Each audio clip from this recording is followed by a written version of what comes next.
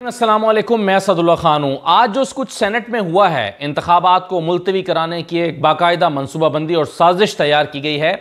इसको समझने के लिए आपको ज़रा बैकग्राउंड देखना पड़ेगा कि पिछले दो दिन में क्या हुआ है।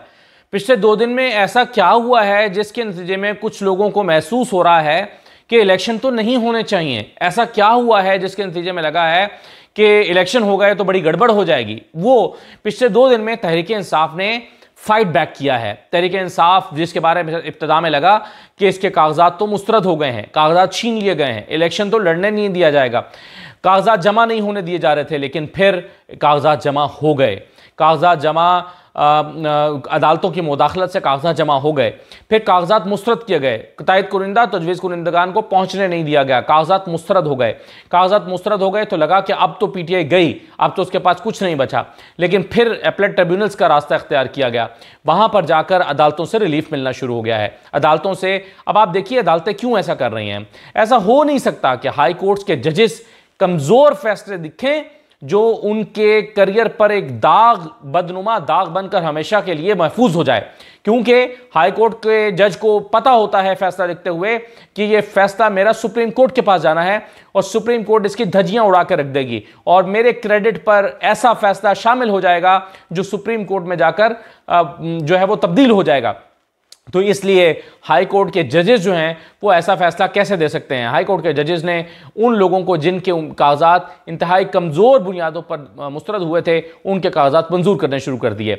अब आज की जो सूरत हाल है वो आज से पाँच दस दिन पहले की सूरत हाल से पी टी आई के लिए बहुत मुख्तलिफ़ है। और पी टी आई के लिए एक हौसला अफजा सूरत हाल पैदा हो गई है। उसको लगने लगा है कि इतनी भी बुरी बा, बड़ी बात नहीं है। हमारे उम्मीदवार अगर उतर गए बल्ले का निशान लेकर मैदान में तो फिर हम आ, हमें रोका नहीं जा सकता। और ये बात पीटीआई के सियासी मुखालफी को भी समझ आने लगी है। और तभी पीटीआई के सियासी मुखालफी खौफजदा हो गए हैं। अब आज देखिए मैं आपको आज की जो आ, ये करारदाद थी इसके पाँच बहुत ही दिलचस्प पहलू बताता हूँ। लेकिन उससे पहले ये देखें कि अब तक कितने लोगों के कागजात जो हैं वो जमा हो चुके हैं। देखिए मंजूर हो चुके हैं सॉरी देखिए, अयाज अमीर साहब के कागजात मंजूर हो गए, मुस्तरद हो गए थे, मंजूर कर लिए गए। शुएब शाहीन के इस्लामाबाद के तीन हलकों से उन्होंने कागजात जमा कराए थे, तीनों हलकों से उनके कागजात मंजूर कर लिए गए हैं। सराउल्ला मस्ती खेल सनाउल्ला मस्ती खेल भक्कर में इनके कागजात जो हैं वो अब मुस्तरद हो गए थे और मंजूर कर लिए गए और सनाउल्ला मस्ती खेल का पूरा ग्रुप है। उनके कागजात मंजूर होने, मंजूर होना एक बहुत बड़ी खबर है। बिल्कुल ऐसे ही कि जैसे नवानियों का आज़ाद इलेक्शन लड़ना बहुत बड़ी खबर है, इस पर मैं अलग से बात करूँगा, इस पर अलग से बात होनी चाहिए, क्योंकि ये पूरी एक साइंस है कि ये क्या हुआ है। तो उस पर फिर बात करते हैं। देखिए पी पी एटी सरगोदा यहाँ से चौधरी इफ्तार हुसैन गोंदल हैं। मरियम के मुकाबले में अगरचे यहाँ से कागजात नईम पंजोता ने भी जमा कराए हैं, लेकिन इफ्तार हुसैन गोंदल जो हैं, यहाँ से पहले भी इलेक्शन जो है वो लड़ते रहे हैं और पी पी एटी सरगोदा से चौधरी इफ्तार हुसैन गोंदल के कागजात मंजूर हो गए हैं मरियम के मुकाबले में। और अगर इनको टिकट मिलता है तो ये सीट जो है, ये इनकी बहुत अच्छा रिज़ल्ट देगी पीटीआई के लिए। फिर शाह महमूद कुरैशी के कागजात मंजूर हो गए हैं। फिर जैन कुरैशी के थर पार्कर से कागजात मंजूर हो गए हैं। हलीम आदिल शेख के कराची से कागजात मंजूर हो गए हैं। अरसलान खालिद के कराची से कागजात मंजूर हो गए हैं। इसके अलावा एन एटी थ्री सरगोदा से उसामा गयास मेला के कागजात मंजूर हो गए हैं। आप देखें, ये बड़े नाम है पाकिस्तान तहरीक इंसाफ के और बड़े सियासतदान हैं ये। इनके कागजात मंजूर हो गए हैं। इसी तरह P P seventy three Sargodha से अंसर इकबाल हरल के कागजात मंजूर हो गए हैं। और ये विनिंग हॉर्सेज हैं सारे। N A twenty one Mardan से मुजाहिद अली खान के कागजात मंजूर हो गए हैं। एन ए ट्वेंटी टू और पी के फिफ्टी एट से अब्दुल सलाम आफरीदी हैं सबक एम पी ए भी हैं। इनके भी कागजात मंजूर कर लिए गए हैं। पी पी ए कटक से काजी अहमद अकबर के कागजात मंजूर हो गए हैं। ये बहुत पुराने वर्कर हैं पी टी आई के और बड़ा अच्छा इनका एक पी टी आई में एक जद्दोजहद रही है और इनके कागजात मंजूर हो गए हैं। एन ए सेवेंटी टू से चौधरी गुलाम अब्बास और एस एन अब्बास एडवोकेट इनके का, ये भी एक प्रोमिनेंट फैमिली है सियालकोट की, इनके कागजात मंजूर हो गए हैं। फिर N A two thirty six से फिरदौस शमीम नकवी के कराची से कागजात मंजूर कर लिए गए हैं। एन ए फिफ्टी फाइव से एजाज हक के कागजात मंजूर हो गए हैं। एन ए फिफ्टी सिक्स और फिफ्टी सेवन से शेख रशीद के कागजात भी मंजूर कर लिए गए हैं। इसके अलावा एन ए एटी नाइन और नाइन्टी से उमैर न्याजी ने मियाँ वाली से कागजात जमा कराए थे। उमैर न्याजी के कागजात भी मंजूर कर लिए गए हैं। ये मैंने आपको चंद एक नाम बताए हैं। इसके अलावा भी पाकिस्तान तरीके इंसाफ के काफ़ी उम्मीदवारों के कागजात अब अदालतों से मंजूर हो गए हैं। लेकिन ऐसी तलात भी हैं कि कुछ लोगों के कागजात मुस्रद कर दिए गए हैं। जैसे मैं हरूनाबाद से सुन रहा था, बावलपुर से कुछ लोगों के कागजात मुस्रद कर दिए गए हैं। लेकिन जिन लोगों के कागजात मुस्रद किए गए हैं, उनके पास हाईकोर्ट का ऑप्शन मौजूद है। हाईकोर्ट के बाद उनके पास सुप्रीम कोर्ट का ऑप्शन मौजूद है। और ऐसे में अभी दो रास्ते उनके पास हैं और वो पुरुद रहें कि उनके कागजात मंजूर हो सकते हैं। और अभी कागजात मंजूरी का अमल जारी है, दस तारीख तक जारी रहेगा। अभी हाई कोर्ट्स, ये अपलेट ट्रिब्यूनल जो है, वो ये दरखास्तें सुन रही हैं। तो अभी आप देखिए कि पाँच तारीख है और पाँच तारीख को ही बहुत से लोगों के कागजात मंजूर हो गए हैं। अब ये सूरत हाल जो डेवलप हो रही है, मेरा ख्याल है इसने, तहरीक इंसाफ के जो सियासी मुखालफी हैं, उनको परेशानी में मुबतला कर दिया है और उन्हें मजबूर किया है ये सोचने पर कि इलेक्शन में उतरना चाहिए या नहीं उतरना चाहिए, क्योंकि इस तरह धड़ाधड़ कागजात मंजूर होने लगे और इनको बल्ले का निशान भी आगे जाके सुप्रीम कोर्ट से मिल गया तो इलेक्शन तो बर्बाद हो जाएगा। वो सारी मनसूबाबंदी वो सारा लंडन प्लान वो सारी मनसूबा जो नून लीग ने बनाया है, वो सारा मनसूबा जो इसकाम पाकिस्तान ने, पार्टी ने बनाया है मौलाना फजल रहमान ने जो ख्वाब देखे हैं वो सारे ख्वाब चकना चूर हो जाएँगे। अगर बल्ला लेकर ये सारे लोग मैदान में निकल खड़े हुए तो फिर इलेक्शन सवाल पैदा होगा कि इलेक्शन डिले करने की ज़रूरत ही क्या थी? फिर एक साल से मारा मारी करने की ज़रूरत ही क्या थी? फिर इतनी ज़्यादा आवाम की नफरत समेटने की ज़रूरत ही क्या थी? ये सवाल पैदा हो जाएगा। इसलिए यही आसान हल सियासी जमातों को नज़र आ रहा है कि इलेक्शन से भाग जाया जाए। अब आप देखिए कि इस मनसूबे को अमली तक जामा पहनाने के लिए आज़ाद सैनिटर्स का इंतखब किया गया है, दिलावर खान का और दूसरे हिदायतुल्ला का। अब दिलावर खान जो हैं, आप जानते हैं कि ये आज़ाद तो हैं, लेकिन नून लीग के वोटों से मुंतखब हुए थे सैनिटर आप जब भी किसी, कोई सेनेटर बनता है तो उसको किसी पार्टी के वोट चाहिए होते हैं, तभी वो सेनेटर बनता है। तो ये नून लीग के वोटों से सेनेटर मुंतखब हुए थे और आज ये पार्टी में, और उसके बाद फिर जो है इन्होंने अपना एक अलग ग्रुप बना लिया था। फिर ये अलग ग्रुप बनाकर किसी एक जमात की की कभी हिमायत करते हैं, कभी दूसरी जमात की मुखालफत शुरू कर देते हैं और आज दिलावर खान ने ये करारदाद पेश कर दी।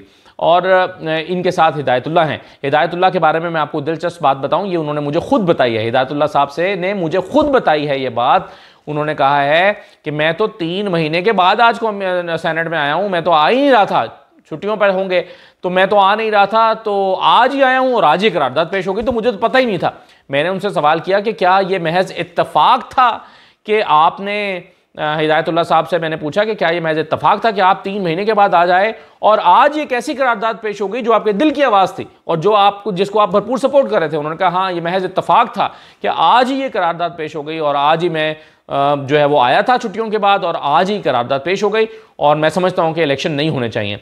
और उसमें मौसम और करारदाद का जो मतन है, उसमें मौसम और सिक्योरिटी की बात है, लेकिन हिदायतुल्ला साहब ने अपने पास से इसमें मुआशी सूरत हाल भी डाल दी और वो कह रहे हैं कि नहीं, मुआशी सूरत हाल जो है, वो भी ठीक नहीं है इलेक्शन नहीं होना चाहिए। अगर इन वजूहत को देखा जाए तो फिर तो शायद पाकिस्तान में कभी भी इलेक्शन ना हो पाए, क्योंकि कभी मीशत आड़े आएगी, मीशत ठीक होगी तो मौसम आड़े आएगा, मौसम ठीक होगा तो सिक्योरिटी आड़ी आएगी सिक्योरिटी यानी सारी चीज़ों का बैक वक्त ठीक होना तो तो बहुत ही मुश्किल से ऐसा वक्त आएगा।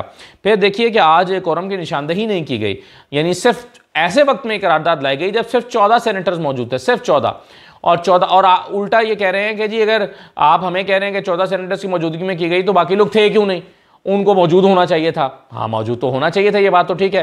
लेकिन अगर वो मौजूद नहीं है तो फिर कौरम की निशानदेही भी तो करनी चाहिए थी ना। सेनेटर अफनानुल्ला साहब को कर देनी चाहिए थी। ये बात मेरे लिए हैरत का बायस है कि सेनेटर अफनानुल्ला साहब ने इस करारदाद की मुखालफत तो की लेकिन कौरम की निशानदेही नहीं की। जब उनको इतना लंबा माइक मिला उन्होंने तकरीर की तो फिर उनको कोरम की निशानदही भी करनी चाहिए थी। जब कोरम ही पूरा नहीं है तो इजलास हो कैसे सकता है? और कैसे मुमकिन है कि एक बारह चौदह लोगों के इजलास में करारदाद पेश कर दी जाए और फिर उसका नोटिस भी आ जाए कि ये मुतफ़ा तौर पर या कसरत राय से मुतफ़ा नहीं, कसरत राय से मंजूर कर ली गई है। अब एक दिलचस्प पहलू ये देखिए कि अभी तक जब मैं ये वीडियो रिकॉर्ड कर रहा हूँ तो मरियम नवाज़ और नवाज़ शरीफ साहब का ट्विटर भी खामोश है। और उनकी कोई आवाज़ नहीं आई, कोई बयान नहीं आया, कोई वीडियो बयान जारी किया जा सकता था, कोई ट्वीट की जा सकती थी, कुछ नहीं कहा गया कि जनाब हम इसके खिलाफ हैं। कहना चाहिए था मरियम नवाज़, शहबाज शरीफ, नवाज़ शरीफ को कि ये जो करारदाद पेश की गई है, ये साजिश है। आठ तारीख को हर हाल में इलेक्शन होना चाहिए। हम इसकी भरपूर मुखालफत करते हैं। ये एक बयान नून लीग की तरफ़ से दिया जा सकता था, लेकिन नून लीग का कोई रहनुमा आगे आकर यह बयान देने के लिए तैयार नहीं है। मुझे तो डर है कि सेनेटर अफनानुल्ला को कहीं नून लीग की तरफ़ से शोकॉज नोटिस ही ना आ जाए कि जनाब आपको क्या ज़रूरत थी ये तकरीर करने की कि हर हाल में इलेक्शन होना चाहिए। आपको किसने कहा था? जब नवाज़ शरीफ खामोश हैं जब न, जब शबाज शरीफ खामोश हैं जब मरीम नवाज़ खामोश हैं तो तुम सेनेटर अफनान कौन होते हो बोलने वाले? मुझे मैं तो डर रहा हूँ कहीं उनको शोकोज नोटिस ही ना आ जाए और कहीं उनकी सरजनिश ही ना हो जाए फ़ोन करके कि ये आपने क्या किया है। तो ये तमाम चीज़ें आज हुई हैं।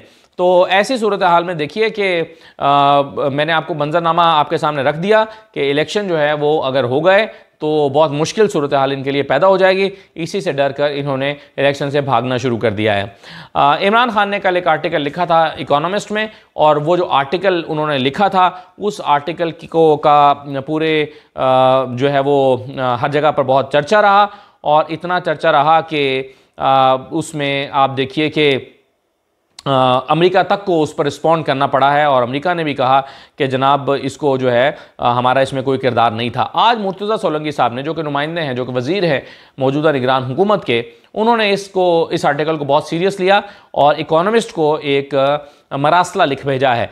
वो कहते हैं कि today we are writing to the editor of the Economist about an article purportedly written by Mister Imran Khan it is puzzling and disconcerting that such an esteemed media outlet published an article in the name of an individual who is in jail and has been convicted. फिर वो कहते हैं वो believe it is critically essential to up, uphold ethical standards and promote responsible journalism. Economist को journalism सिखा रहे हैं मुर्तजा सोलंगी साहब वो कहते हैं we would like to know how the editorial decision was made हम जानना चाहते हैं कैसे आपने ये ये एडिटोरियल डिसीज़न लिया। And what consideration were taken into account regarding the legitimacy and credibility of the content by the Economist फिर वो कहते हैं कि we would also be interested to know if the Economist has ever published such ghost articles by jailed politician ever from any other part of the world if jailed convicts were free to write to the media, they would always use the opportunity to air their one-sided grievances. और ये उन्होंने कहा है। अब मुर्तज़ा सोलंगी साहब ने अपने जो खदशात का अपने गुस्से का अपनी परेशानी का इजहार किया है वो उन्होंने मरासला लिख भेजा है इकोनॉमिस्ट को। तो एक तरफ़ आप देखिए कि इलेक्शन के ख़िलाफ़ साजिशों को अमली शक्ल दी जाने लगी है। दूसरी तरफ़ आप देखिए कि तहरीक इंसाफ एक ख़तरा बनकर थ्रेट बनकर सामने आ रही है। और तीसरी तरफ़ आप देखिए कि इमरान खान के ख़िलाफ़ इंटरनेशनल फोरम्स पर शिकायतें लगाई जा रही हैं। तो अब इस सब का नतीजा हमें क्या क्या होगा? अनफॉर्चुनेटली आज पाकिस्तान में इस्लामाबाद में बहुत ही अनफॉर्चुनेट अफसोसनाक वाक़ दहशत गर्दी का पेश आया है। आ, और उसमें ज़ाहिर है उनके जो कारकुनान हैं मौलाना के उनमें गम गुस्सा पाया जाता है। अल्लाह ताला पाकिस्तान के हालात को बेहतर करे और पाकिस्तान को अपनी हिफ्ज़ अमान में रखे और अल्लाह करे कि पाकिस्तान के जो हालात हैं, वो इतना अच्छे और स्मूथ रहें कि आइंदा इलेक्शंस भी अपने वक्त पर हो जाएँ और साथ ही साथ ये कि कोई भी चीज़ इलेक्शन की राह में रुकावट ना बने। और पाकिस्तानी सबसे बढ़कर ये, इलेक्शन से भी बढ़कर ये कि पाकिस्तानियों की जान और माल महफूज रहे। इजाज़त दीजिए, अल्लाह हाफिज़।